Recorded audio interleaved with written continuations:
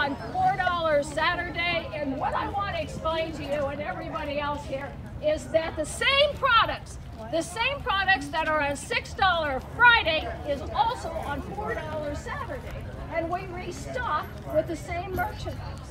So all those people who stood in line for six dollars, you still have the opportunity to buy the same thing for four dollars, and the tables and beds are all there. So here from Carolina, Ohio.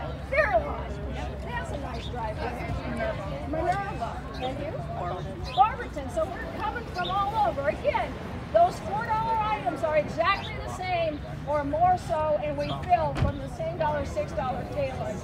Thank you for coming to the Dollar One on Saturday, $4 Saturday. Thank you. Thank you. Thank you.